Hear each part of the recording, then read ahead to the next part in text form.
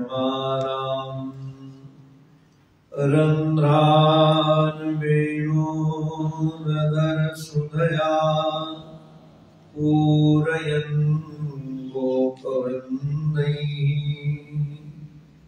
वृन्दारण्यं स्वपदरमणम् प्राविशदनीतकीरतिः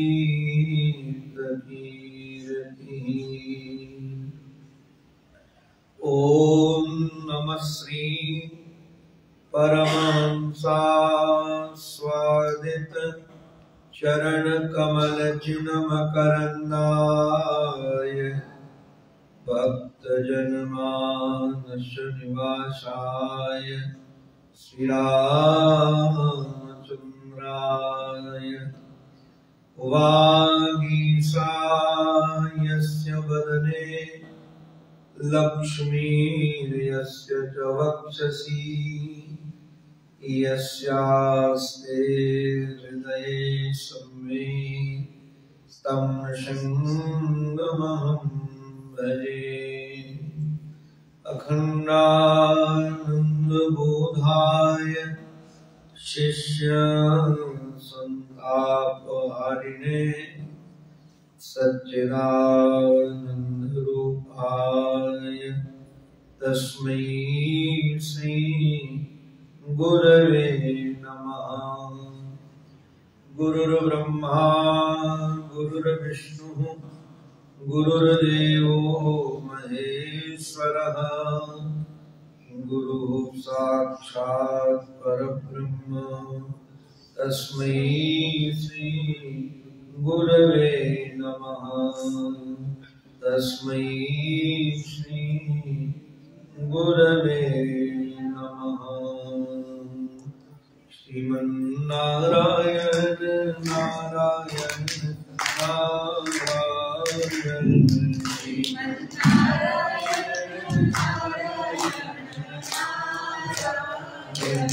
श्रीमन्नारायण नारायण नारायण श्री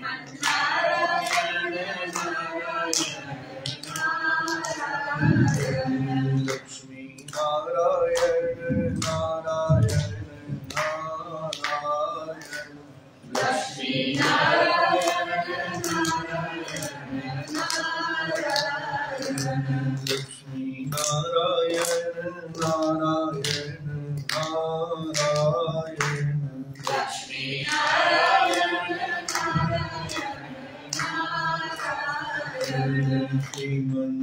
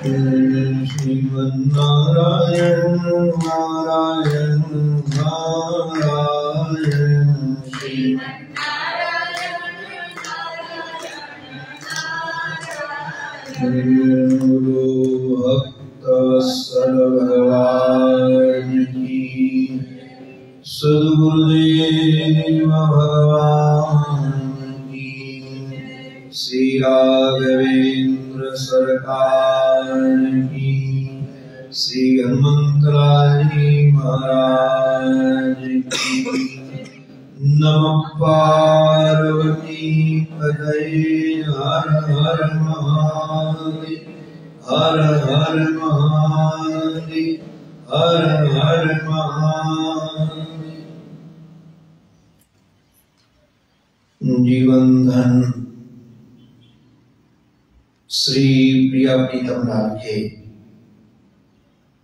युगल पावन पवित्र चरणारिंदों में साष्टांग बंधन परमादरणी प्रातस्मरणी अनंत श्री समलंकृत, श्री सदगुरुदेव भगवान के युगल पावन पवित्र चरणारिंदों में बारंबार प्रणिपात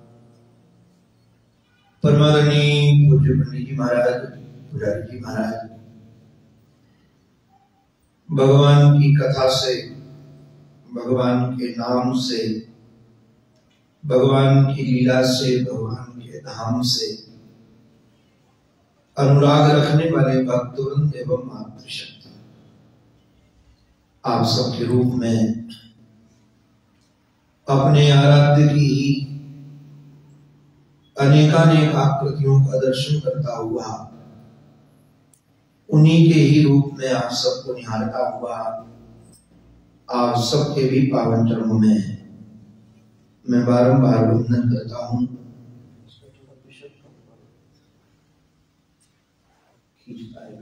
नारायण नारायण हरिओम नारायण नारायण नारायण नारायण नारायण। नारायण हमको वो वाला है तो ये चीज़ लगा इसके अपेक्षा। इसे लगाते हैं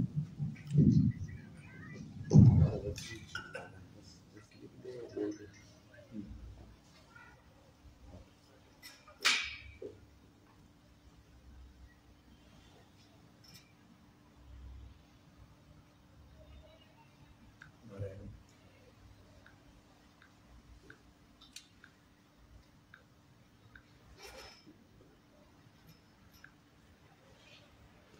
नारायण। नारायण हरिओम नारायण नारायण।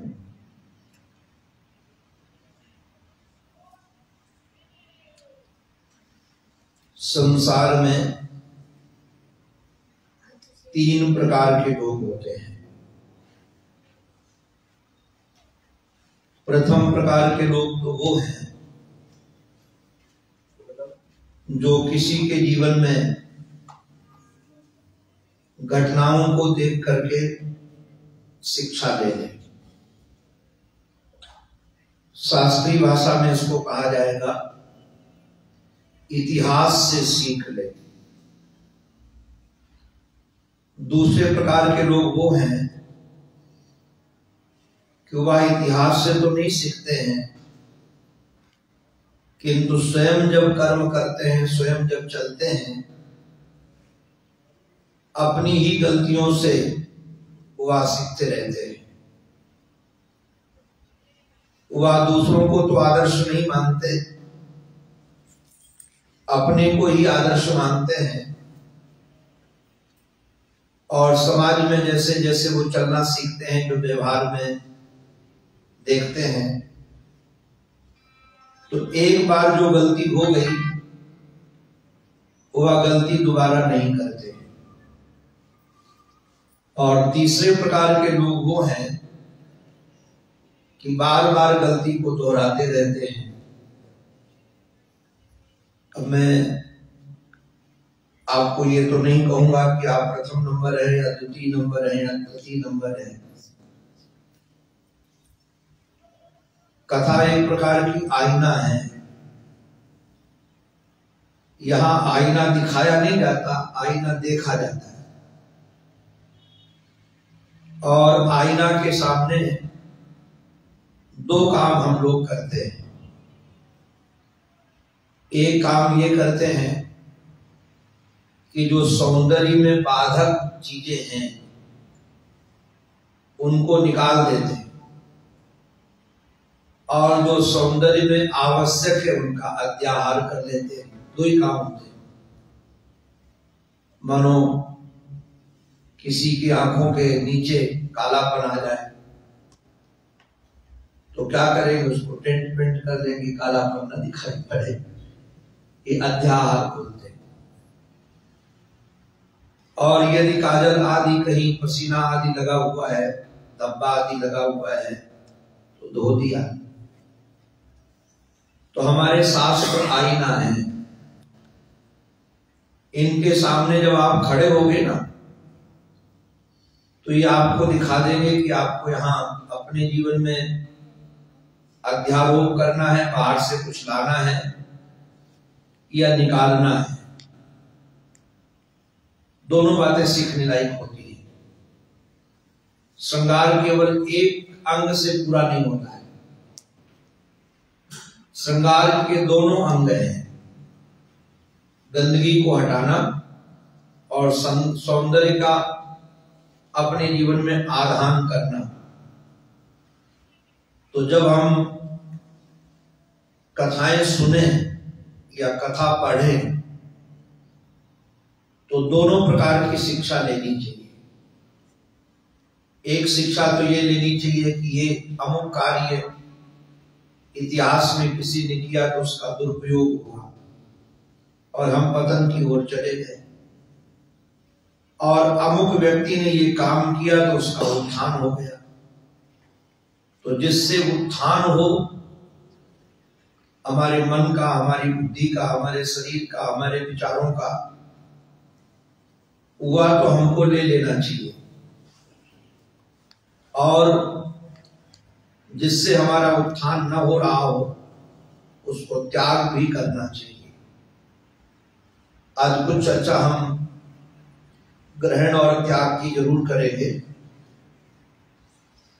एक तो वो रामचरित्र मानस का अवलंबन लेकर के हम जीवन जीने की कला सीख रहे हैं और संयोग से यह योजना न हमारी थी। न हमारे ट्रस्ट वालों की थी, ना हमें स्मृति में था, ना इनको स्मृति में था। रामचरित्र मानस के जो रचयिता हैं संत प्रवर श्री तुलसीदास जी महाराज, आज उनका जन्म दिवस भी है। श्रावण शुक्ला सप्तमी तुलसी धर्यो शरीर। तो ये सौभाग्य की बात है जिन महापुरुष की या दिव्य रचना से हम लोग अलंकृत हैं, दिव्य रचना के हमने आठ सौ पैंसठ पाठ पूरे किए हैं। ये एक संयोग कहा जाए, या आचार्य की कृपा कही जाए। उन्हीं के जन्म में, उनकी जन्म जयंती में हम लोगों ने चार दिवस रामचंद्र मानस के कुछ सूत्रों से जीवन जीने की कला सीखी। एक कला में आपके सामने भी प्रस्तुत कर रहा हूँ, जो हम लोगों से लगभग दूर जाती जा रही है, जीवन जीने की कला। हम जहाँ हों, वहाँ पूरे हों। आज बड़ा गड़बड़ हो गया। भोजन करते समय भी हम पूरे नहीं होते। और सबसे बड़ा ये खेल इस मोबाइल के यंत्र का है। माताओं के लिए तो मैं कहता हूँ, ये मुँह बोली सौत है। मुँह बोली सौत है। अच्छा कमाल की बात यह है, ये यंत्र बना था यंत्र को चलाने के लिए। किंतु दुर्भाग्य हो गया कि यंत्र हम ही को चलाना है। आप जरा विचार करिएगा, ना हम भोजन में पूरे हैं, ना अपने काम में पूरे हैं, ना अपने संबंधों में पूरे हैं। आधा आधा मामला है। आधा मोबाइल के साथ होते आधे पत्नी के साथ होते और आप सबसे हमारी प्रार्थना है, जीवन को अलंकृत करना है तो दोनों तरफ़ से। आप पूरे रहो। और मैं आपको गारंटी दे रहा हूँ कि आप यदि समय से यंत्र का उपयोग करोगे तो तुम्हारा कोई काम बंद नहीं होगा और तुम्हें व्यापार में घाटा भी नहीं होगा। मेरी अनुभूति तो यह है, जब हम किसी समय भी फ़ोन उठाने लगते हैं तो हमारे कस्टमरों को, हमारे व्यापारियों को ये पता होता है कि व्यक्ति किसी भी समय उठाएगा तो जब वो फ्री होता है, तब तुमको परेशान करता है। और यदि अपने को पता चल जाए, उसको पता चल जाए कि आठ बजे के बाद फ़ोन उठने वाला नहीं है तो यदि उसको काम करना होगा तो आपके साथ आठ बजे के पहले वो कर लेगा और ध्यान रखिएगा, ये भ्रांति भूल जाइएगा कि कोई आपके साथ संबंध तुम्हारे फ़ायदे के लिए करता है। कोई भी तुम्हारे साथ संबंध तुम्हारे फ़ायदे के लिए नहीं, अपने फ़ायदे के लिए करता है। और जब अपने फ़ायदे के लिए करता है तो याद रखो, वो अपने आप अपना फ़ायदा खोज लेगा, समय से रहेगा। और यदि आप समय से नहीं रहे तो हानि क्या होने वाली है जरा इस प्रसंग से सुन लीजिए। रामचरित्र मानस का ये प्रसंग, श्री याज्ञवल्क ने भरद्वाज महाराज को सुनाया। और ये सारा का सारा खेल इस दृष्टांत पर आधारित है। एक बार त्रेता युग माही शंभु गए कुंभज सिपाही, संग सती जग जननी भवानी, पूजे ऋषि अखिलेश्वर जानी। त्रेतायुग की घटना है। जिस समय रामावतार हुआ था, उस समय की घटना है। याद रखिएगा, ये भ्रांति लोगों के चित्त में है कि राम का अवतार एक बार हुआ था। ये क्रम है सृष्टि का। सतयुग में भगवान के अवतार होते हैं, त्रेता में भगवान के अवतार होते हैं, द्वापर में भगवान के अवतार होते हैं। तो हर त्रेता में भगवान राम का अवतार होता है। और हर त्रेता त्रेता में रामलीला होती है। और हर कलयुग में तुलसीदास जी महाराज आते हैं। ये कलयुग पूरा हो जाएगा, फिर क्रम चलेगा, फिर कलयुग आएगा तो फिर तुलसीदास जी आएँगे। और तुलसीदास जी आकर पुनः रामचरित मानस की संरचना करेंगे। तो कि कालक्रम के आधार पर सबका ह्रास हो जाता है। इस संसार में एक ऐसा नियम है, जिस नियम का परिवर्तन नहीं होता और सबका परिवर्तन होता है। वो कौन सा नियम है कि परिवर्तन होने के नियम का परिवर्तन इसका नहीं होता है? ह्रास और विकास विकास और ह्रास। ये प्रकृति का सहज स्वभाव है। आप चाहो या ना चाहो, आपको तरुणावस्था आएगी। और आप चाहो या ना चाहो, आपको वृद्धावस्था भी आने वाली है ही। क्योंकि हम लोग जब जवान होते तो लगता है कि अपने नाम तो कभी बूढ़े नहीं होंगे। ये लोग जैसे चलते इन लोगों ने गलतियाँ की हैं। ध्यान नहीं दिया, इसलिए बूढ़े हो गए हैं। और अपने लोग गलती नहीं करेंगे, सावधान रहेंगे तो बूढ़े नहीं होंगे। ये असंभव स्थिति है। ये प्रकृति का परिवर्तन सहज है। इसलिए सजगता और सावधानी ही सुख का साधन है। अगर आप सावधान नहीं रहोगे, सजग नहीं रहोगे तो आप सुखी नहीं रह सकोगे। तो मैं निवेदन कर रहा था हम सबको, भगवान राम का अवतार हुआ और राम का अवतार होने के बाद जब ये महात्मा जी सुना रहे हैं भगवान शंकर को कथा, राम कथा हो रही है तो निश्चित रूप से राम कथा में यह प्रसंग तो आया ही होगा। कि भगवान श्री राघवेंद्र सरकार दंड कारण में आए और उनकी पत्नी का अपहरण हो गया। क्योंकि तो रामायण इसके बगैर तो अधूरी है। हम लोगों के यहाँ बचपन में सुनते थे कि एक राम हतो, एक रावण। उनने उनकी प्रिया चुराई और उनने उनको वंश मिटायो। तुलसी गए पोथन्ना बात तो छोटी सी है। और ये क्रम आज से नहीं, अनादिकाल से चला रहा है। चलता रहेगा। तो कम से कम यदि सती ने बैठकर कथा सुनी होती तो निश्चित रूप से उसके जीवन में संशय नहीं आता। अगर उनका शरीर कथा में रहता और मन भी कथा में रहता तो ये झमेला होने वाला नहीं था। अच्छा चलो अगर पूर्ण कथा नहीं सुन पाए कल मैंने निवेदन किया था इस प्रश्न को तो जैसे भगवान शंकर ने, क्योंकि तो भगवान शंकर निश्चित रूप से जगत बंद है, और जगत बंद है, यदि वह भगवान को विरही देख करके सत आनंद से विरोधी देख करके भी उनकी श्रद्धा नहीं बिगड़ी। उनको संशय नहीं हुआ।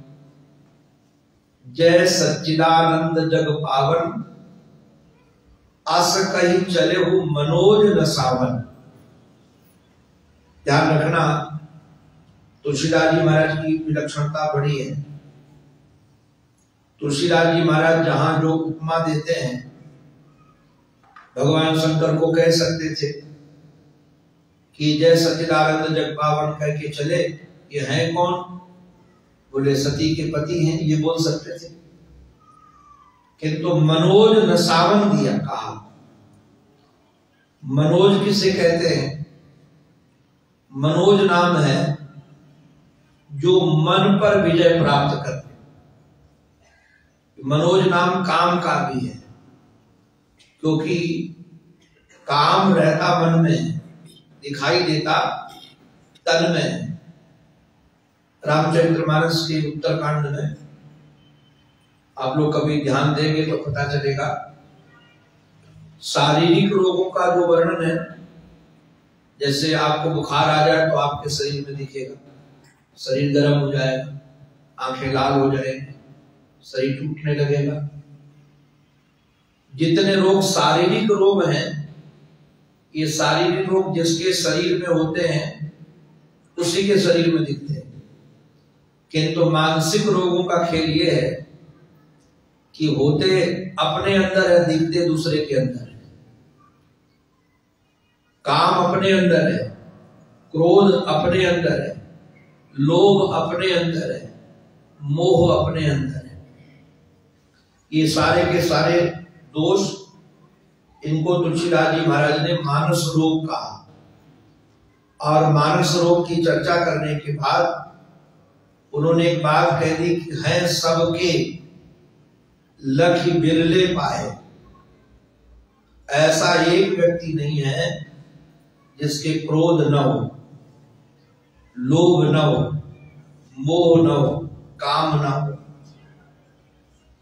हमारे आराध्य गुरुदेव तो कहते थे कि कोई व्यक्ति यह कहे कि हमको काम नहीं आता है।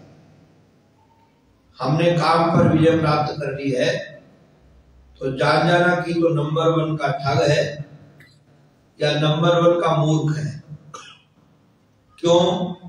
ठग इसलिए कह रहा हूँ कि जानता तो है कि है कि तो लोगों को दूसरों को ठगना चाहता है।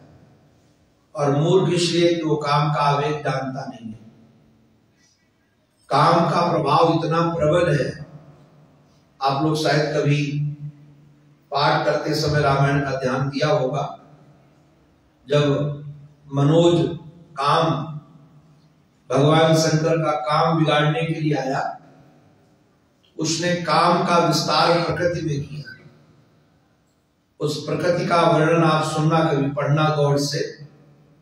तुलसीदास जी महाराज लिखते हैं कि संगम करें तालाब तलाई ये जड़ है तालाब और तलिया और बाद में तो यहाँ तक कह दिया, सबके मन मन सिज हरे, धरा काहू धीर।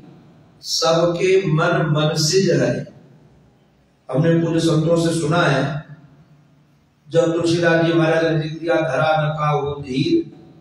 सबके मन मन से झरे तो उनको लगा कि कोई ना कोई तो दुनिया में ऐसा होगा जो काम से बचा होगा, जिसको काम का प्रभाव नहीं हुआ होगा। किंतु तो हमने तो लिख दिया कि सबके मन मन से झरे तो थोड़ी देर के लिए लेखनी रख दी। और ये कोई रामचरित्र मानस एक दिन में नहीं लिखा गया, दो वर्ष लगे, दो वर्ष से भी अधिक। और जो रचना काल रहा है, उनका जो ढंग रहा है तुलसीदास जी महाराज का, वो पूरा का पूरा जीवन ही राम के समर्पित था। राम की कृपा की अनुभूति में ही प्राण चलते थे उनके। तो लेखनी रख करके स्नान करने चले गए। और स्नान करके आए, तब तक देखा कि ये सोरठा पूरा हो गया। हनुमान जी महाराज ने उसको पूरा कर दिया। क्योंकि इस ग्रंथ की जो रचना हुई है पूर्ण रूप से हनुमान जी महाराज के ही प्रेरणा से और उनके माध्यम से उनको निमित्त बनाकर हुई है। क्योंकि रामचरित्र मानस की जो विलक्षणताएँ हैं, वो तो अद्भुत है ही।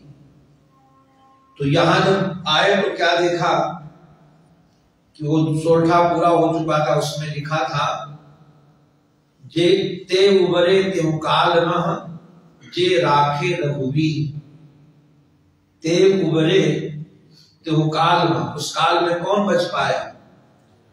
बोले, जे राखे रघुवीर, जिनको भगवान ने बचाया वही बच पाए।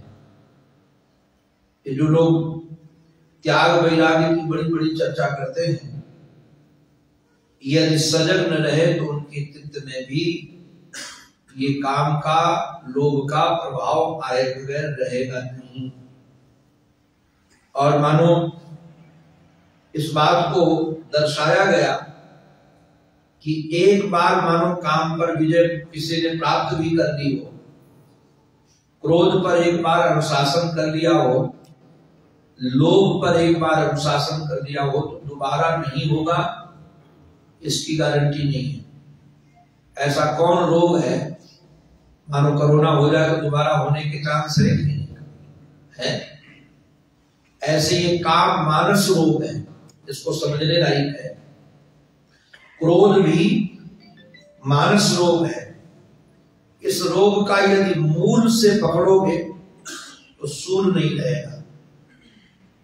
भगवान शंकर काम विजेता मनोज होने के बावजूद भी, मनोज को नाश करने वाले भगवान शंकर को भी भगवान के मोहनी रूप को देख करके पुनः आकर्षण हुआ है। इसका कहने का अभिप्राय दृष्टांतों का वर्णन करने का अभिप्राय यह है कि सावधानी सतत रखो।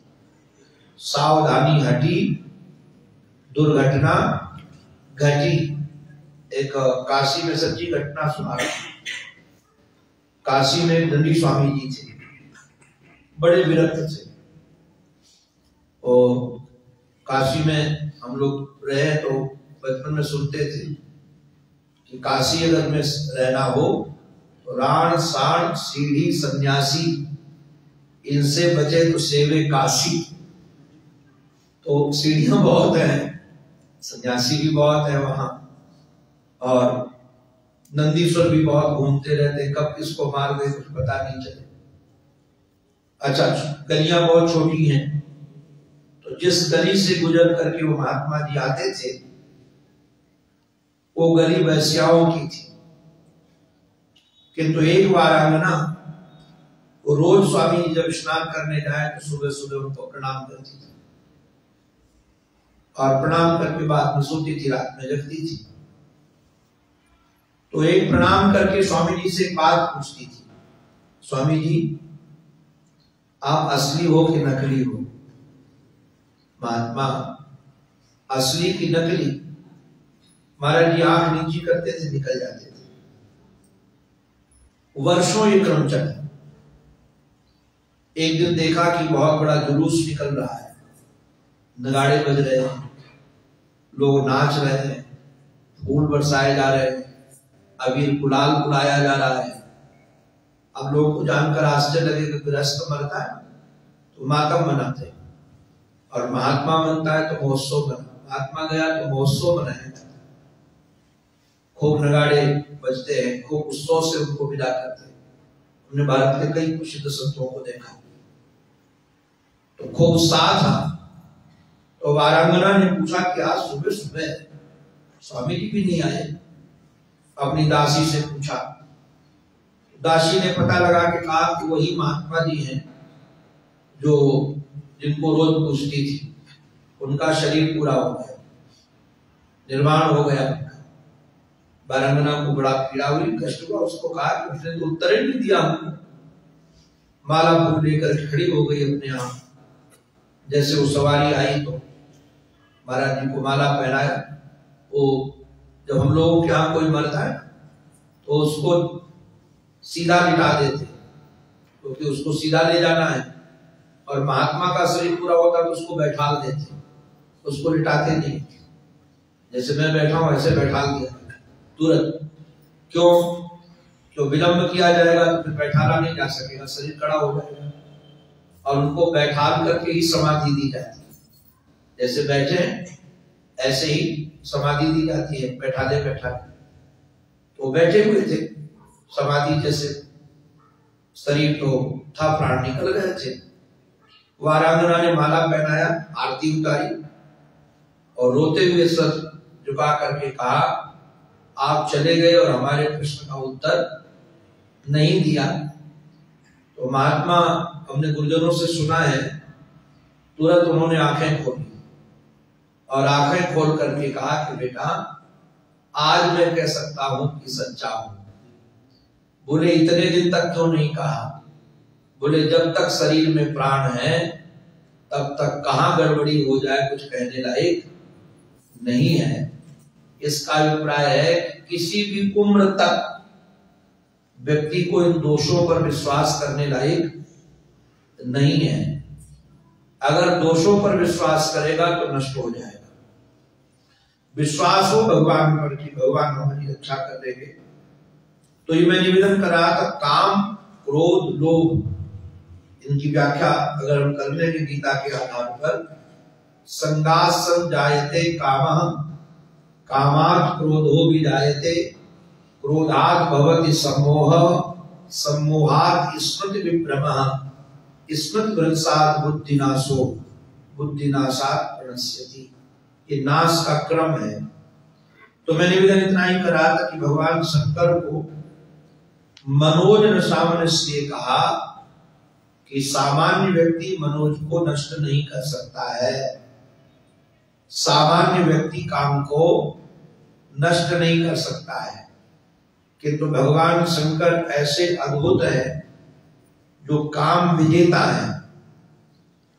अब जो काम विजेता है, अभिप्राय क्या है? कि राम के चरित्र को वही जान सकता है जो काम पर अनुशासन रख सके। इसलिए आप लोगों ने सुना होगा, तुलसी कबहू कर ही सके रवि रजनी एक ठाम। तुलसी, तुलसीदास जी महाराज कही दो तुलसी कबहुख रही सके? रवि रजनी एक ठाम, जहाँ राम, तहा काम नहीं, और जहाँ काम नहीं राम। राम और काम एक साथ नहीं रहते। तो राम को समझने के लिए काम पर अनुशासन बहुत आवश्यक है।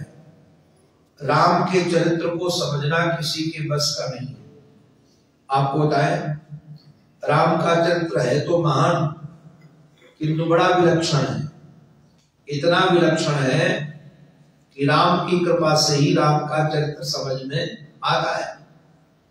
अब आप लोग, हम लोग सब जानते हैं कि परमात्मा सच्चिदानंद में है, किंतु सच्चिदानंद में परमात्मा क्या कभी हो सकता है? हमको लगता है कि जो रोए, वो आनंद कैसे होगा उसमें?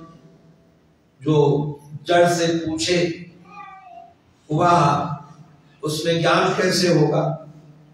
और जिसको पता ना हो कि पत्नी कहाँ गई। एक महात्मा तो कहते थे, जो अपनी पत्नी की नहीं रक्षा कर पाएगा, वो दूसरे किसकी रक्षा करेगा। तो एक सामान्य मनुष्य का भी लक्षण उस समय नज़र नहीं आ रहा। किंतु तो काम विजेता भगवान शंकर ने उनको उस समय भी जय सच्चिदानंद जग पावन, अस कहीं चले हो मनोज न सावन। ये जो जग पावन शब्द का प्रयोग किया गया है, जग माने होता है किसी एक व्यक्ति को नहीं। जग माने गच्छती जगत, जो चल रहा है। तो राम जी ने केवल मनुष्यों को पावन नहीं किया है। ध्यान रखिएगा। मनुष्यों का केवल पावन नहीं किया, पशुओं को हमारा भूमि को, पक्षियों को, लताओं को गुलमों को आप कभी आश्चर्य मानेंगे। तो बहुत अद्भुत है। निषाद के विषाद को भी जिसने मिटा दिया हो। केवट जैसे व्यक्ति को जिसने गले लगा लिया हो, जटायु, मैं बार बार लोगों को कहता हूँ। आप लोग ये मत समझना कि आप पवित्र आहार करोगे तब भगवान आपको प्यार करेंगे। भगवान तो जटायु को भी, जटायु के चरित्र को कभी आप गौर से पढ़ना, हम लोग तो पाठ करने के लिए निकल जाते हैं।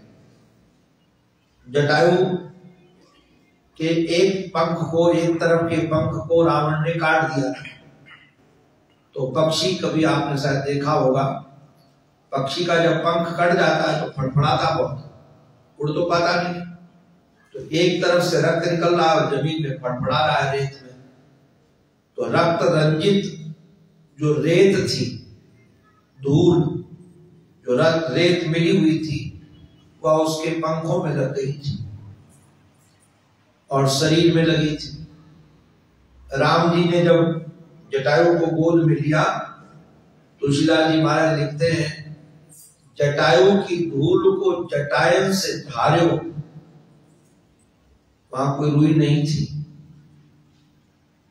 भगवान ने अपनी जटायों से जो बाल इतने बड़े बड़े हो गए हैं, उन बालों से जटायु के धूल को जाड़ा रक्त रंजित।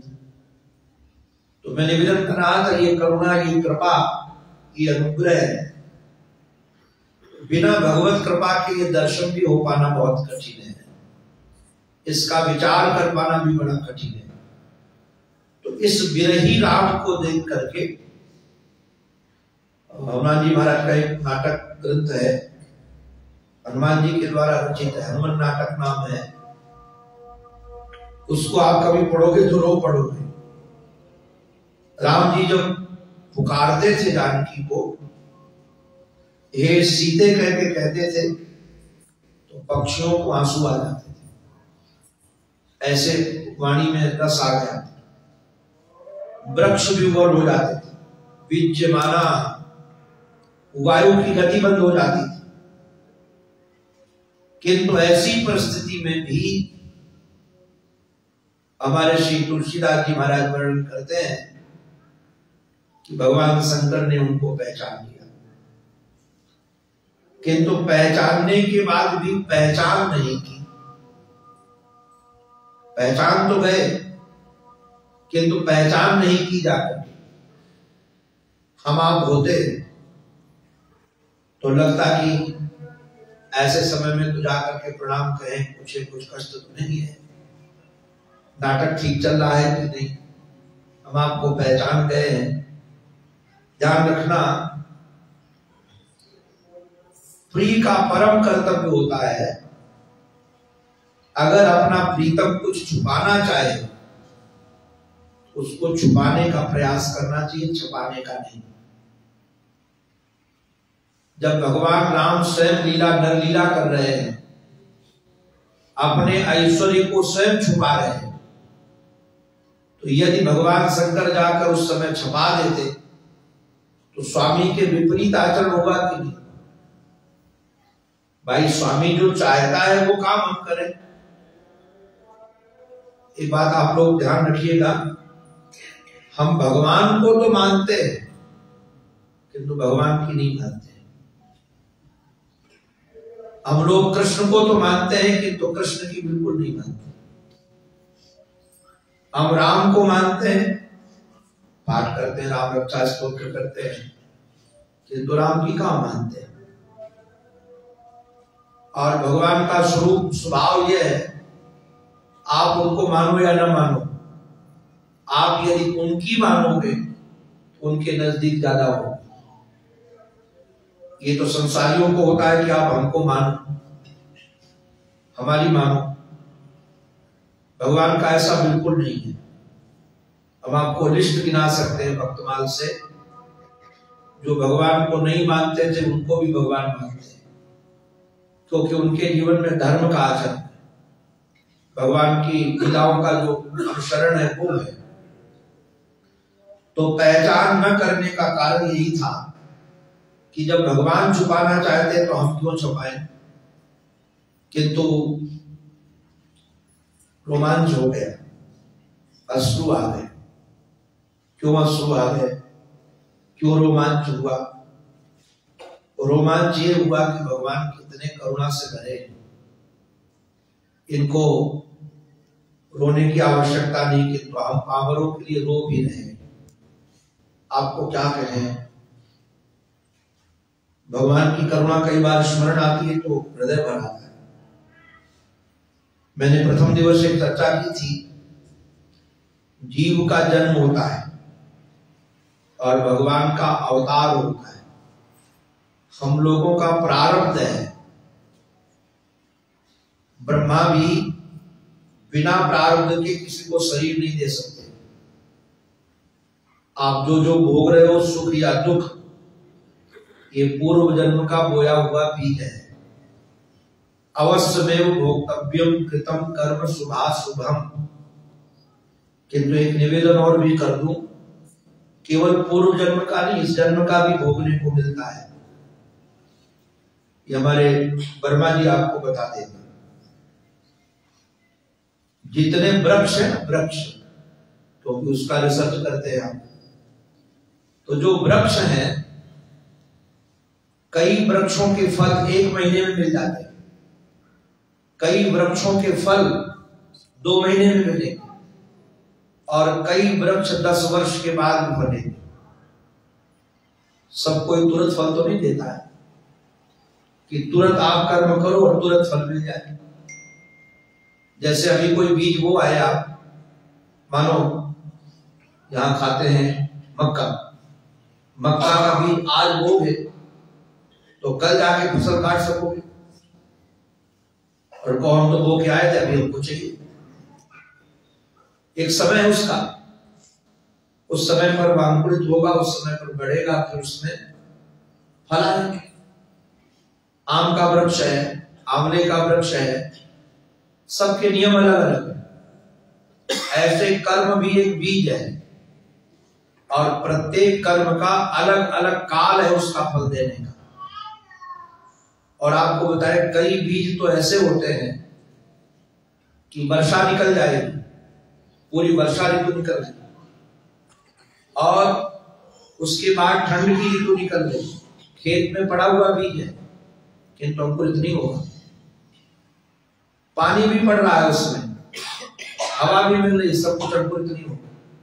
अंकुरित कब होगा जब उसका काल है ये जड़ जड़ वस्तुओं को आप देख सकते हो। कई लोगों को लगता है अभी तो व्यक्ति बहुत अच्छा कर्म कर रहा है, दान देता है, धर्म करता है, सब कुछ करता है, ये पीड़ा को पा रहा है। अरे भाई, जो अभी कर रहे हो उसका फल बाद में मिलेगा। तुरंत थोड़ी उसका फल मिल जाएगा, कि तुरंत प्रत्यक्ष फल मिल जाएगा। अभी जो हम कर्म का भोग भोग रहे हैं, ये पूर्व जन्म का भी है। और आपको बताया, जैसे मैंने कहा कि सीज़न, मास, महीने, मैं भी एक दिन देख रहा था कई बीज तो वर्षों के बाद अंकुरित होते वर्षों के बाद। गजब की बात तो ये आप लोग तो शायद इस विज्ञान को कैसे समझें। अब तो कम है, हम लोग तो गाँव के हैं। पूरे वर्षा में तीन चार महीने पानी खेतों में भरा रहता था। हमने बचपन में देखा है। अपने राम तो पढ़ने जाते थे, गाँव में स्कूल नहीं था। तो पाँच छह किलोमीटर दूर स्कूल था। तो वर्षा में यहाँ तक घुस कर ही जाते थे। आते जाते समय घुस करके ही जाना होता था। अब दो महीने, तीन महीने तक वो बीज खेत में पड़ा है किंतु तब भी सड़ता नहीं। बाद में सूखेगा, जैसे सूखेगा तो फिर हमको अंकुर निकलेगा। ये बीज का विज्ञान। तो ऐसे ही कर्म बीज है तो हम लोग जितने सुख दुख माना अपमान, मृत्यु बिछो ये सारे के सारे कर्म का प्रतिफल है। आज जो जो घटनाएँ घट रही, रोग भी आ रहा है, ये रोग भी कर्म का प्रतिफल है। मृत्यु भी कर्म का प्रतिफल हो जाती है।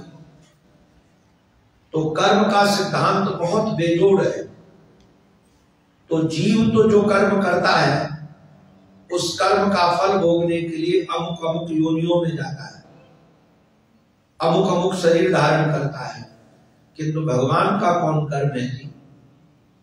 भगवान का तो कोई कर्म है और भगवान ना तो करता बनते न तो होता बनते किंतु उनके जीवन में ये कष्ट क्यों आते? उनके जीवन में ये दुख क्यों आते?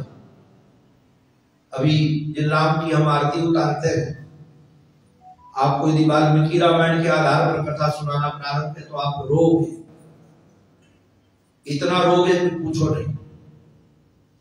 उनके जीवन के सुख के काल बहुत कम थे। बहुत कम सुख का काल था राम के। ब्याह होकर के आया। सुखी होने का समय था। पिताजी ने माँ के कहने पर वनवास दे दिया।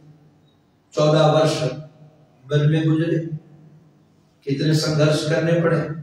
उसके बाद अवध के राजा बने। एक धोबी क्या क्या कहना, पूरा अवध का समर्थन था। धोबी तो बेचारा बलि का बकरा बन गया। किंतु मौन स्वीकृति सबकी थी। उन्होंने जानकी का परित्याग किया। फिर एक दिन भी सैया में नहीं सोए। महरों में रह करके भी वो ज़मीन में सोते थे। महरों में रह करके जो भोजन करते थे, आपको सुनाने लगे तो आप रो पड़ोगे तो हम कई बार ये चरित्र पढ़ते तो हृदय भरा था कि सब कुछ जानने के बाद भी इतना कष्ट किसी कर्म का विभाग नहीं है, उनकी करुणा है। करुणा इसलिए है अगर वो हमको ये पाठ जी कर न बताते हमको जीने का अवलंबन कैसे होता? हम कैसे सीखते? रक्षो बधाई वन केवलम विभो। मर्जावतारस्वी मर्त शिक्षण लोग प्रेम प्रेम की चर्चा बहुत करते हैं। और सब लोगों को ऐसा लगता है कि भक्ति, प्रेम बहुत सरल है। और हम अपने प्रेमी, हम अपने भक्त मानते हैं। किंतु प्रेमी कौन है, भक्त कौन है? इतिहास के साचे पर कभी अपने को देखिएगा लोग गोपियों की प्रेम की चर्चा करते हैं। प्रेम की ध्वजा गोपियों को मानते हैं। किंतु प्रेम में त्याग, समर्पण जो है, उसको कभी आप विचार करोगे तो रो पड़ोगे श्री कृष्ण केवल साढ़े दस वर्ष गोकुल वृंदावन में रहे। साढ़े दस वर्ष गोकुल और वृंदावन में रहे। बाद में चौसठ दिन के लिए गुरुकुल में पढ़ने के लिए गए। चौदह वर्ष श्री कृष्ण मथुरा में रहे, किंतु एक गोपी मिलने के लिए नहीं गई। एक गोपी का वर्णन नहीं है कि कोई गोपी उनके पास मिलने चली गई हो। या गोपी श्री कृष्ण को गाली दे रही हो। सौ वर्ष कोई सामान्य अवधि नहीं होती है। सौ वर्ष तक गोपिया श्री कृष्ण से अलग रही। संयोग कितने वर्ष का? साढ़े दस साल का। ग्यारह वर्ष समझ लीजिए। और 11 वर्ष के बाद वियोग सौ वर्ष का। किंतु न तो प्रेम भूला न तो प्रीतम भूला न प्रीतम से कोई शिकायत हुई एक भी बार श्री कृष्ण को किसी गोपी ने बेवफा नहीं कहा प्रेम त्याग का नाम है जो त्याग न कर सके वो प्रेम क्या करेगा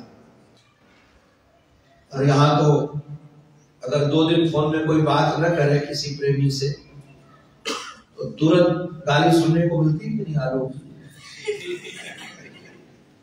कि तो हमको यहाँ ले आए सबसे बात उनको समय नहीं हमारे लिए। सब कुछ देने के बाद शिकायत तो बनी है। हमको नहीं लगता है कोई पुरुषों से देवियाँ संतुष्ट होती होगी कि शिकायत ना करें। मौका मिला तो शिकायत तुरंत। मैं तो निवेदन ये था कि प्रेम को समझने लायक है। शिकायत भी आनंद के लिए हो तो अच्छी बात है। किंतु अंदर शिकायत और शिकवा कोई इबादत नहीं है। शिकायत और शिकवा कोई इबादत नहीं है, इसलिए प्रेमी को ये करने की आदत नहीं है। प्रेमी कभी शिकायत, शिकवा से नहीं बनता है। ये प्रेम का स्वभाव नहीं तो मैं निवेदन आपको इतना ही कर रहा था कि राम जी के इस विरह काल को देख करके और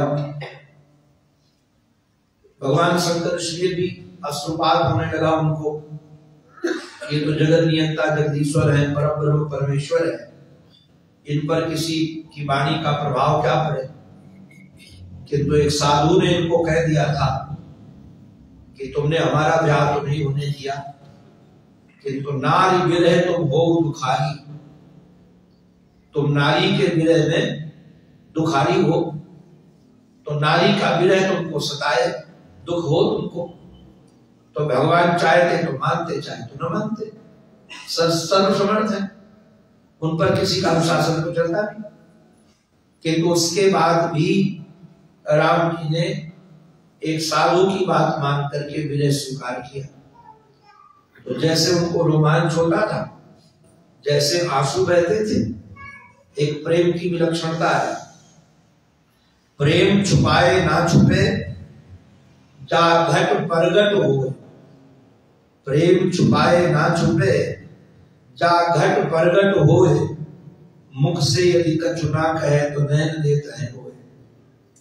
भगवान शिव रोमांचित हो रहे थे, अश्रुपात हो रहा था। सती को लगा कमाल की बात है। एक राजकुमार को देख करके इनको रोना क्यों आ रहा है? फिर दूसरे लगा कि अरे, ये तो जगत बंद है। बात कुछ ना कुछ होगी। तो पूछा कि आप रो क्यों रहे? बोले, ये वही राम है जो निर्मूल निराकार, व्यापक, ब्रह्म है, जिनकी अभी हम लोग कथा सुन करके आए हैं। आज हमारा सौभाग्य कि हमको ये दर्शन दे रहे हैं। नहीं तो हम इस रूप में देख भी कहा पाते? सती को लगा कि कहीं ना कहीं हमारे पति को भ्रांति हुई है। ये परमात्मा नहीं हो सकते। एक निवेदन कर दू। परमात्मा और महात्मा के विषय में लोगों ने एक दिमाग में खागा बना लिया कि ऐसा हो तो परमात्मा। ऐसे चले, ऐसे बोले, ऐसे देखे, ऐसे सुने, ऐसे व्यवहार करे तो परमात्मा तो महात्मा नहीं तो नहीं है। याद रखो कि आपके बनाए हुए संविधान के आधार पर यदि परमात्मा चलता है तो आप परमात्मा हो कि वो परमात्मा है? भाई, जो कानून आपने बनाए हैं, उन कानूनों के आधार पर वो सोए, उठे, बैठे, आजकल बच्चे भी चलते अपने कानून बनाए और हम चाहते हैं भगवान भी वैसे ही चले। हमारी मान्यता ऐसी है कि भगवान जो हम कहे वैसे करे। आजकल तो अब बड़ा आश्चर्य मानते हैं कोई कामना लेकर के मंदिर में लोग जाते हैं।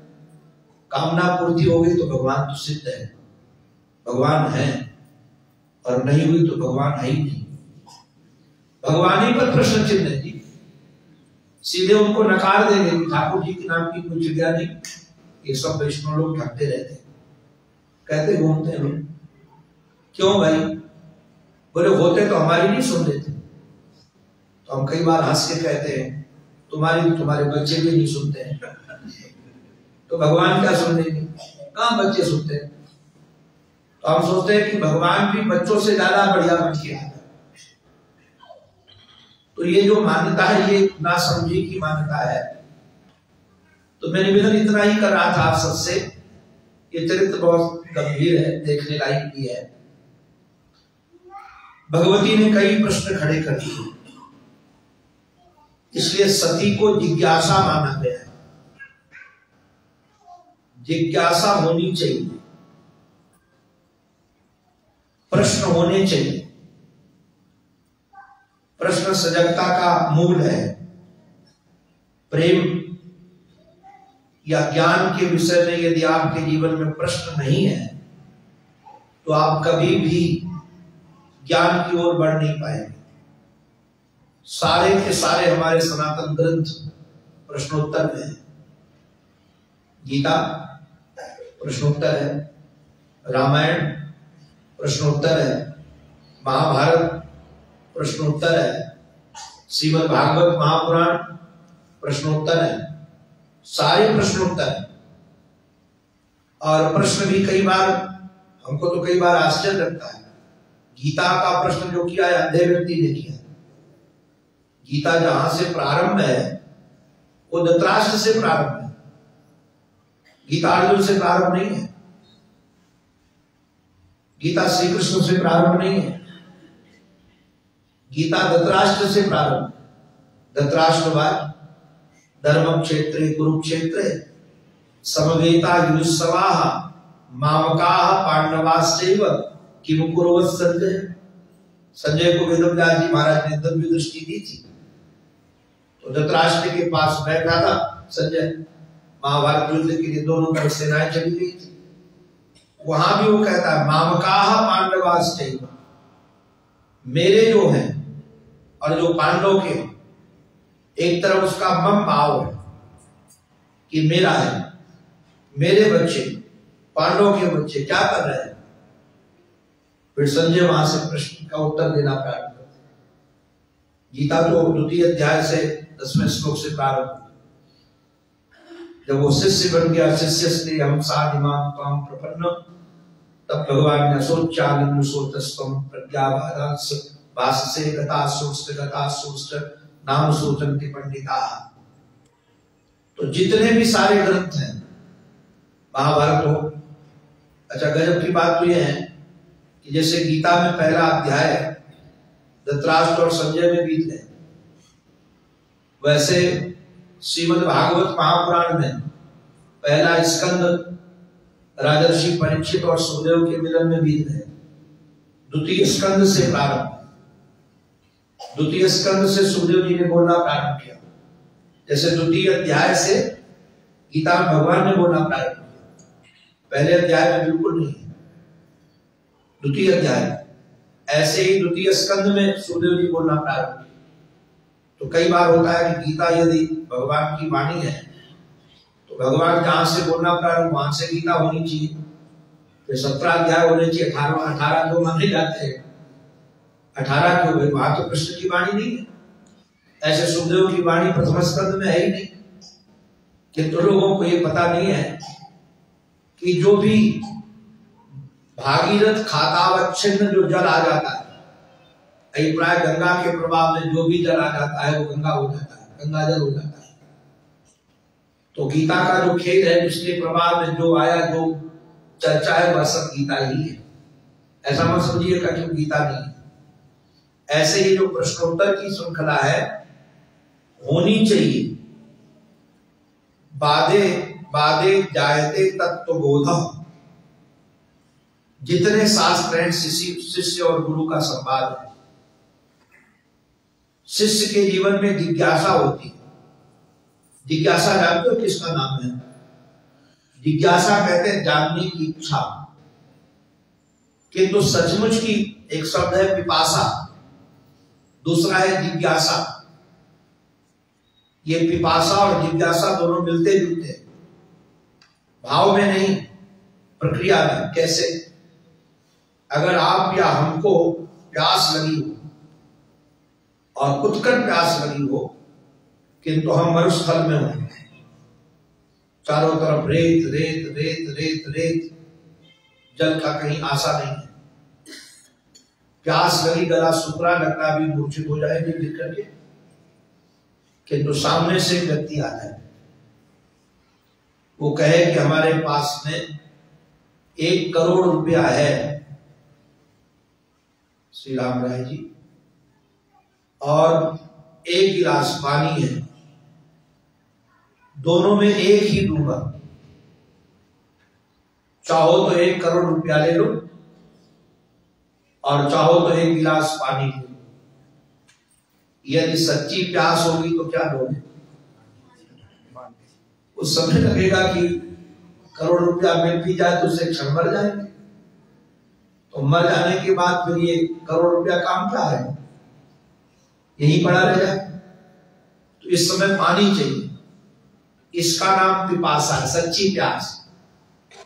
ऐसे सच्ची जिज्ञासा जब होती है हम लोगों को नब्बे से तो उस क्षेत्र में लगे हैं पूरे से। तो जब कोई प्रश्न पूछता है तो पता चल जाता है कि समय बिताने के लिए आया है। कि हमारी परीक्षा करने आया है। कई लोग हमारी परीक्षा करने नहीं आते इनको आता जाता है कि नहीं और कई लोग तो महाराज आपको क्या कहें? प्रश्न का उत्तर पहले खोज कर आते हैं। उनके दिमाग में उत्तर पहले से बैठा हुआ है। अगर वही उत्तर बता दो तो कहेंगे, महात्मा जी तो जानकार है। और यदि कुछ दूसरा बताओ कहेंगे, कुछ आता जाता नहीं है। ऐसे बुद्धू बनाते रहते हैं लोगों को। मूर्खों को समझाते हैं हम ज्ञानी ठहरे। ये प्रश्न करने की श्रृंखला नहीं है सती ने प्रश्न किया था। सती जिज्ञासा है। और भगवान शंकर, तुम त्रिभुवन गुरु वेद बखान। तो उनसे प्रश्न हो रहा है। और भगवत संबंधी प्रश्न हो रहा है। भगवान शंकर ने सारे तर्क दिए और समझाना चाहा कि तुम जो पूछ रही हो, राम वही। अगर ये पूछो कि इस समय ये अज्ञानी क्यों बने हैं? बोले, अज्ञान का पाठ कर रहे अज्ञानी का पाठ कर रहे अब देखो, यदि हमको जोकर का पाठ करना हो, हंसाने का, हम जान पूछ करके ऐसी भाषा बोलेंगे कि आप लोग हंसो। इसका अभिप्राय ये नहीं कि हम इस भाषा के जानकार नहीं तो भगवान जो बनते मैंने निवेदन किया था, पूरे बनते हम जो बनते हैं, सब अधूरे बनते अगर सुखी होना है तो राम जैसे पूरे बनते हम भी पूरे बने बेरही बने तो पूरे बने। प्रेमी बने तो पूरे बने। त्यागी बने तो पूरे बने, पुत्र बने तो पूरे बने, और दुश्मन भी बने तो पूरे बने। मैं दिन रावण के भाग्य को सराह रहा था। रावण बहुत भाग्यशाली था। आप कहोगे, क्यों? मुझे इतिहास में रावण जैसा भाग्यशाली कोई दूसरा दिखता नहीं। आप कहोगे, क्यों? मेघराज जैसा उनको पुत्र, जो अपने पिता के इशारे पर अपना जीवन नष्ट करने के लिए तैयार है। पिता का विरोध कभी नहीं करता। मंदोदरी जैसी पत्नी उसको, कि जानकी के सामने कहता है कि अगर तुम एक बार हमारी तरफ़ देखो तो मैं दासी बना दूँगा। नौकरानी बना दूँगा। कि वो कभी क्षुभित नहीं मंदोदरी सती थी। अगर वह क्षुभित हो जाती तो रावण तो उसकी सांसों से बह जाता राम को मारना नहीं पड़ता पुत्र ऐसे, भाई विभीषण जैसा। सब कुछ था और सबसे बड़ी बात क्या है? आपको क्या कहें? उसको दुश्मन भी मिला तो राम जैसा।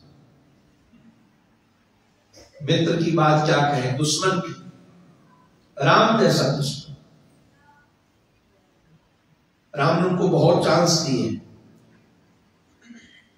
हनुमान जी महाराज को भी कहा, हनुमान जी चाहते तो मार कर आ जाते।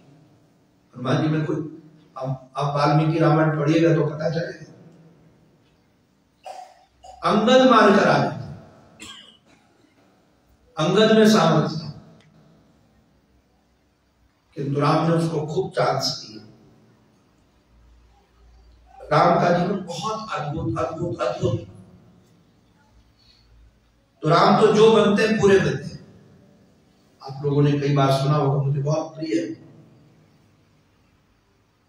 अहिल्या के निज दोष के कारण वो पाषाण शिला बनते अहिल्या। उसका अपना दोष था। जब गुरु जी के साथ गए राम जी तो छत्री थे। वो ऋषि, पत्नी थी। तो गुरु जी ने कहा कि, राम, आप इनको चरण रज दो। जैसे कहा, चरण रज दो तो राम जी ने हाथ जोड़ करके गुरु जी प्रणाम करके कहा, गुरुदेव, ये कृपा आप कर दो। मैं तो छत्री राजकुमार हूँ। ये ऋषि पत्नी है। ये चरण रज आए नहीं आप कह रहे कृपा करो रघुवीर। तो ये चरण राजा आप हो बोले, मेरे चरण से इसका कुछ उद्धार नहीं होगा अगर मेरे चरण से हो जाता तो मैं दे देता। तो बोले, मेरे से कैसे हो जाएगा? विश्वामित्र जी महाराज ने कहा, जिसका आचरण पवित्र है, उसी के चरण रज से किसी का कल्याण हो सकता हमारा आचरण पवित्र नहीं है। तुम्हारा आचरण पवित्र है। जिसका आचरण पवित्र होता है, उसी के चरण से पतित का उद्धार हो सकता है। आप स्पर्श कराइए। गुरु की आज्ञा मानकर किया और उनका उद्धार हुआ। निवेदन इतना ही कर रहा हूँ मैं सबके सम्मुख कि राम का जो खेल है, अद्भुत है। राम पूर्ण ब्रह्म है। इसलिए उनका पूरा का पूरा पाठ जीवन में अनुकरणीय है। एक निवेदन आप सबको कर दू, कृष्ण लीला अनुकरणीय नहीं है। ध्यान रखिएगा। उसका अनुकरण करने लगोगे तो पतित हो जाओगे। इसलिए सुखदेव जी महाराज को भागवत में कहना पड़ा ईश्वराणाम बच सत्यम तथा चरितम क्वचित। श्री कृष्ण की वाणी तो आप अनुचरण करो किंतु उनका चरित्र नहीं।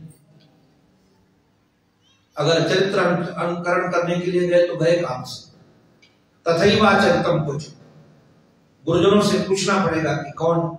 ये तो सीमान जी, हमारे कन्हैया तो मिट्टी खा के कह देंगे नाम मैंने नहीं खाया। लीलाया कृष्ण। किंतु हमारे राम जी एक बार जो मुख से निकाल दिए, द्वितीय न भाषिक।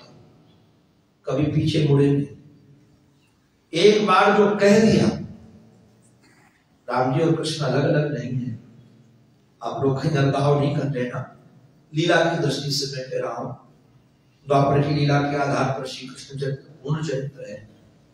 मैं तो उनका चरित्र गा गा करके अपना जीवन चला रहा हूँ। जी रहा हूँ उनके चरित्रों के आश्रय हमारी कोई कृष्ण पर कोई आक्षेप नहीं है, या उनकी पूर्णता पर कोई प्रश्न चिन्ह है, ऐसा नहीं है। केवल एक बात कह रहा हूँ कि जो श्री कृष्ण का जीवन है, वो पूर्ण अनुकरण कर नहीं सकते आप। उसको तो आपको गुरुजनों से पूछ करके ही अनुकरण करना पड़ेगा। किंतु राम का चरित्र पूर्ण अनुकरण ऐसा कोई भाग नहीं जो आप अपने जीवन में उतार नहीं सकते। और आपका जीवन रसीला न बन तो भगवान शंकर से भगवती ने प्रश्न किया उनके विषय में। और प्रश्न करने के बाद, क्योंकि प्रश्न का उत्तर चाहिए नहीं था कई लोगों को अपनी मान्यता ही मनवानी होती है कि जो मैं कह रहा हूँ वो सही है। आप इसको मानो। और ये जो जिद है, जिद देखो भाई, आप सबसे हमारी प्रार्थना है जिद्दी मत बनो दुराग्रही मत बनो और संबंधों में विशेष करके, कभी वो उनकी बात मान जाए, कभी वो उनकी बात मान जाए। भगवती नहीं मानी। तो भगवान शंकर को कहना पड़ा कि जिससे तुम्हारा भ्रम मिटे वो जैसे तुम्हारा भ्रम मिटे, अब हमारे से समझ में नहीं आ रहा तो प्रत्यक्ष है, तुम परीक्षा करो। परीक्षा करने में एक तो हो गई और ये भक्ति मार्ग में बहुत महत्वपूर्ण है। भक्ति मार्ग में संबंध का बहुत महत्व है। और ये परंपरा आपको हमारे सनातन धर्म में ही मिल सकती है। ध्यान रखिएगा। मैं किसी धर्म का नाम नहीं ले रहा हूँ, आप लोग सब जानकार है, समझ जाइएगा। हमारे यहाँ आप श्री कृष्ण को ईश्वर तो मान ही सकते हो, सखा मान सकते हो, प्रेमी मान सकते हो, प्रीतम मान सकते हो। आप जो चाहो सो संबंध बना और भगवान सब वैसे तो अवध में राम जी के साथ ज़्यादा संबंध नहीं बनाया जा सकते। राम जी के साथ सखा का संबंध तो बन सकता है, स्वामी का संबंध बन सकता है, किंतु राम जी को पति नहीं बना सकते हो। वो जगत पति तो बन जाएँगे किंतु ऐसे किसी के पति बनने वाले नहीं है, क्योंकि वो एक पत्नी व्रतधारी है और कन्हैया तो जिस दो चाहो सो बना और सत्संबंध निभाता है। और मुझे तो कई बार ऐसा लगता है संसारी लोग संबंध निभाए या न निभाए, भगवान तो पूर्ण संबंध निभाते हैं। संबंध सीखना हो निभाना तो श्री कृष्ण से सीख लेता है। और संबंध में निष्ठा होनी चाहिए। संबंध बार बार बदलने नहीं चाहिए। भगवान शंकर अपना आराध्य, अपना इष्ट, अपना स्वामी मान करके आराधना करते थे। किंतु भगवती ने गड़बड़ कर दिया उनको लगा कि राजकुमार है, और मैं निवेदन पुनः कर दू, संसार को आप परीक्षा से पा सकते हो, समझ सकते हो, भगवान की परीक्षा नहीं हो सकती है। कोई परीक्षा करके परमात्मा को पाना चाहे तो कभी नहीं पा सकता। हमारे सतवा जी जानते हैं ब्रह्मा जैसा बुद्धिमान। भगवान श्री कृष्ण की परीक्षा करने गए। क्या दुर्दशा हुई? क्यों भाई? परीक्षा से क्यों परमात्मा नहीं मिलेगा? वैज्ञानिक इसमें हेतु है। आपकी जो इंद्रियाँ हैं, ज्ञान इंद्रिया, ये ज्ञान इंद्रियाँ पंच महाभूतों के पंच तन्मात्राओं से और जो इंद्री जिस तन्मात्रा से बनी है, उसी तन्मात्रा को पकड़ती है। जैसे कर्ण इंद्री आकाश तन्मात्रा से बनी है। आकाश तन्मात्रा है शब्द। शब्द गुणकम आकाशम। इसलिए कान केवल शब्द को पकड़ेगा कान रूप को नहीं पकड़ेगा कान गंध को नहीं पकड़ेगा कान को केवल एक विषय पकड़ में आने वाला है। वो है शब्द। जो आपकी आँख तन आँख है, ये अग्नि तन मात्रा से बनी है। और अग्नि तन मात्रा है रूप। तो केवल ये रूप को पकड़ेगी जीव आपकी जो है, वो जल तन मात्रा से बनी जो अग्रभाग है, जल मात्र मात्रा जो है, वो रस है। तो रस को पकड़ेगी, स्वाद को पकड़ेगी। और जो आपकी नासिका है, ये पृथ्वी तन मात्रा से बनी ये दुनिया में जहाँ जहाँ गंध है, वो पृथ्वी की है। ये रहस्य लोग नहीं जानते। वायु में गंध नहीं है, जल में गंध नहीं है। गंध यदि कहीं है तो केवल पृथ्वी में तत्व गंधवती पृथ्वी। और जो आपकी त्वग इंद्री है त्वग इंद्री खाल। ये केवल स्पर्श को पकड़ेगी और ये जो पंच महाभूत हैं जिनसे इंद्रियाँ बनी और उन तन तन, तन मात्राओं को पकड़ती हैं परमात्मा इसके भी पिता है। इसलिए परमात्मा इंद्रियातीत है। आप उसको इंद्रियों के प्रमाण से नहीं पकड़ सकते हो। परमात्मा को अदोक्षण इंद्रियातीत कहते हैं। तो परमात्मा की परीक्षा नहीं हो सकती, परीक्षा तो संसार की होगी। आप परीक्षा ले सकते हो कि इसमें कौन सी चीज़ कितनी मिली हुई है। सांसारिक ज्ञान की परीक्षा हो सकती है। कि तो सती गई परीक्षा देने। और गजब की बात क्या है कि उनको लगा कि राजकुमार है, इनकी पत्नी खो गई है, और पत्नी खोजते हुए घूम रहे हैं। तो जानकी बन गए।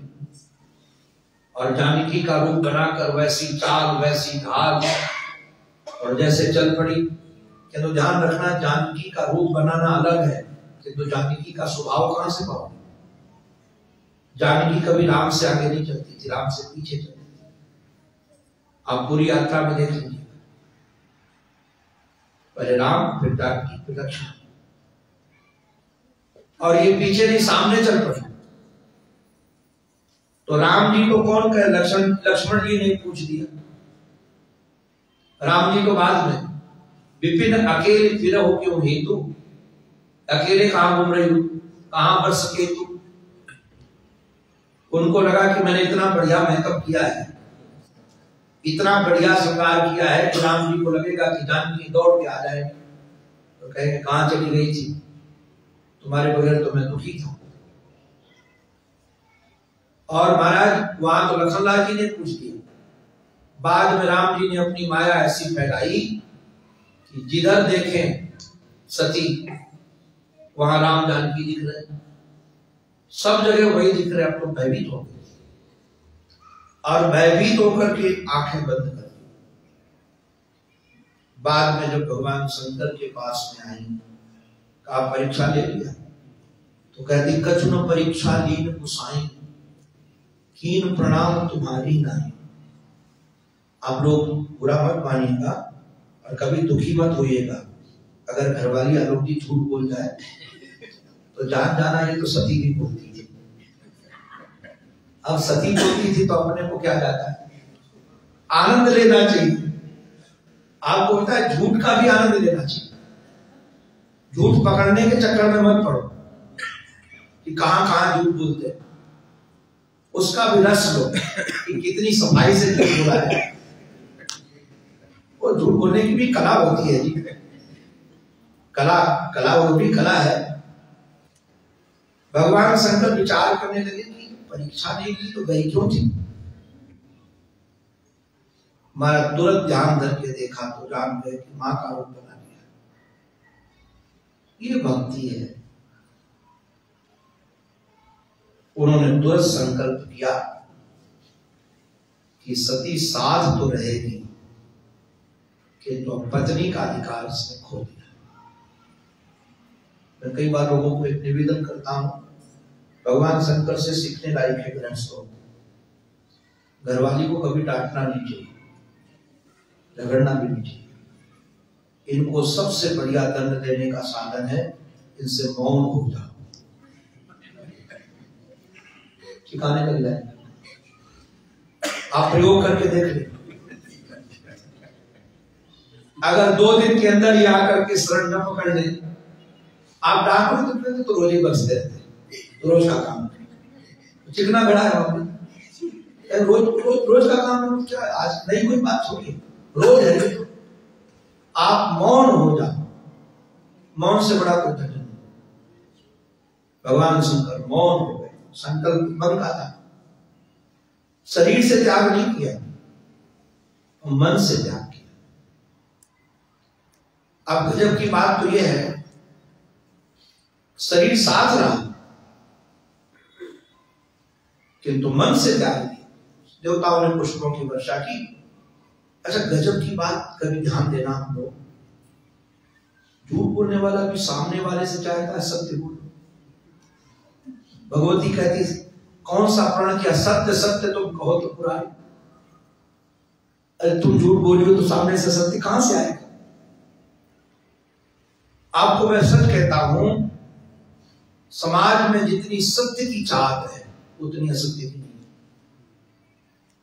जितनी धर्म की चाहत है, उतनी अधर्म की नहीं भले लोग कहते हैं कि अधर्म बहुत बढ़ गया। मैं आपसे प्रश्न पूछता हूँ आप भले झूठ बोलो किंतु आपसे कोई झूठ बोलता है तो आपको पसंद है। झूठ बोलने वाला कहता सत्य बोलना? हमारी कसम खा लो। अरे रोटी खिलाओ भाई, सब्ज़ी खिलाओ। ये अपनी कसम गाय को खिला दो। हमारी कसम खाओ, सत्य सत्य बोलना। आप अपने झूठ बोल रहे हैं। अच्छा कमाल की बात यह है, आप जरा विचार करना। आप भले गलत काम करो, किंतु आप चाहते हो कि आपके बच्चे करें। पुरुष चाहता है कि हमारी पत्नी सदा सती होनी चाहिए। स्वयं चाहे दुष्चरित्र हो। और दूसरा दुष्चरित्र पार्टनर होगा, तब भी ये चाहेगा कि हमारा पार्टनर सच्चरित्र रहे। इसका अभिप्राय क्या है? कि सत्य की चाह ज़्यादा है सत्य की कामना एक हमारे महात्मा थे, हमारे मित्र हैं, अभी हैं। वो कई बार मेरे से बोलते थे, स्वामी जी स्वामी जी मैं और राम जी में कोई ज़्यादा फ़र्क नहीं है। हम और राम जी एक जैसे। बस थोड़ा फ़र्क है। तो मैं कई बार पूछो कि स्वामी, फ़र्क क्या है? बोले, राम जी मर्यादा में रहते हैं और मैं सबको मर्यादा में रखना चाहता हूँ। अपने को छोड़कर। बस नहीं फ़र्क है। हम लोग चाहते हैं कि सब लोग मर्यादा में रहें, मेरे को छोड़कर। इतनी फ़र्क तो है। मैं निवेदन इतना ही कर रहा था, ये चरित्र बहुत अद्भुत चरित्र है। इनकी चर्चा पूर्ण रूप से करना असंभव भी है। किंतु चरित्र से यही सीखने लायक है कि जो हम दूसरों से चाहते हैं, वो हम स्वयं बने। अगर शिव से सती चाहती कि सत्य मिले तो स्वयं सत्य का आचरण करती। आप व्यवहार में इतना ध्यान रखो। यही धर्म है। हमको जो बुरा लगता है, हम दूसरे के साथ नहीं करेंगे रामायण यही सिखाती हम किसी को सुधार नहीं सकते। जैसे अभी हम लोगों को, सब नवयुवकों को अपने बड़े बूढ़ों की आदतें अच्छी नहीं बोलना अच्छा नहीं लगता उनका। व्यवहार अच्छा नहीं लगता। उनको सुधारने की ज़रूरत नहीं है। प्रयास ये करें कि जब हम उस पाठ पर पहुँचे तो जो हमको उनसे कष्ट हुआ है, हमारे आने वाली पीढ़ी को वो ना हो। हमने तो अपने जीवन में नहीं रखा। उसमें इतना आनंद है, इतना आनंद है, आपको क्या कहें? आनंद से परिपूर्ण जीवन है। अब हमको आनंद की खोज नहीं है। कि हमको कोई मिलेगा जो आनंद दे देगा। हम जहाँ है, जिस क्षण है, पूर्ण आनंद में पूर्ण और भविष्य की कल्पना नहीं है कि अभी तो मैं दुखी हूँ, बाद में सुखी बनूँगा। जब यहाँ से जाऊँगा, तब सुखी बनूँगा। ऐसा नहीं। जहाँ है, वही पूर्ण है। तो राम जी से सीखने लायक है कि जो पाठ मिले, पूरा निभाओ और सती से सीखे। कि जो हमें चाहिए, वही हम दूसरों को दें। अगर ये हो जाए तो हमारा जीवन पूर्ण हो जाएगा। आज संत प्रवर श्री तुलसीदास जी महाराज की जन्म जयंती पर ये पुष्प उन्हीं के श्री चरणों में समर्पित है।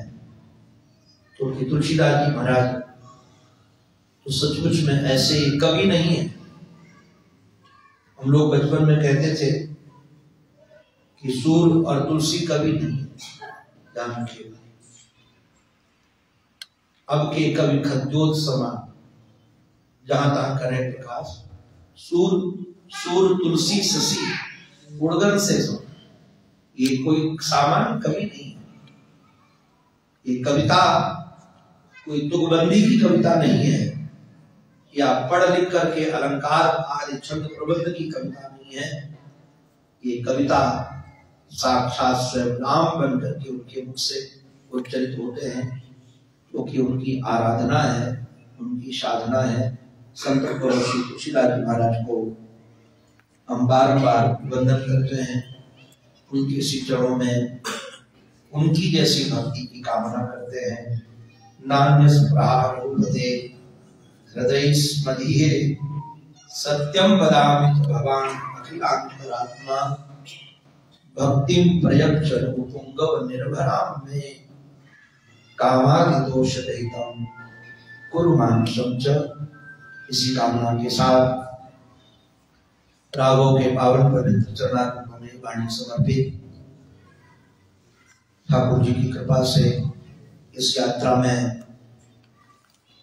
रामचरित्र मानस के अखंड पाठ का भी रस लेने का अवसर मिला। और कुछ काल रघुनाथ की गाथा गाकर के पवित्र करने का अवसर मिला पावन पवित्र प्रांगण में। ये भगवान की की कृपा का ही अनुभव करता हुआ, यह कृपा सर्वत्र वर्षती रहे, सब पर वर्षती रहे। सर्वे भवन्तु सुखिनः। सर्वे सन्तु निरामयाः सर्वे भद्राणि पश्यन्तु, मा कश्चित् दुख भाग भवे ओम शांति शांति शांति हमारे श्री राम राय, विजय वर्गी इनको लोग सब लोग विजय विजय जानते हैं, किंतु ये विजय वर्गी है ये श्री राम राय जी। तो हमारे श्री राम राय जी इस समय हमारे गुरु स्वामी जी महाराज के ट्रस्ट के अध्यक्ष भी हैं और इन्हीं के संरक्षण में ये माला भी पूरी हुई। मैं उन पवित्र आत्मा श्री केशव प्रसाद गुप्त जी को उनका गुप्ता गुप्त, गुप्त हो गया था। गुप्ता गुप्त हो गया था प्रसाद का विस्तार हो रहा था। अभी वासी ठाकुर जी के चरणों में ही गुप्त हो गए। उनकी भी पावन पवित्र स्मृति करता हूँ। और श्री हमारे रामलाल जी, विजय वर्गी जी, आज श्री ठाकुर जी का पहले एक भजन सुनाएँगे। और भजनों उपरांत इस सत्र की परिसमाप्ति करेंगे। अभी तो ये ट्रस्ट के अधिपति हैं, इसलिए इनका दायित्व तो बहुत ज़्यादा बन जाता है। और हम आज देख रहे थे, मुझे खुशी भी हो रही थी। एक एक व्यक्ति को भी ध्यान दे रहे थे।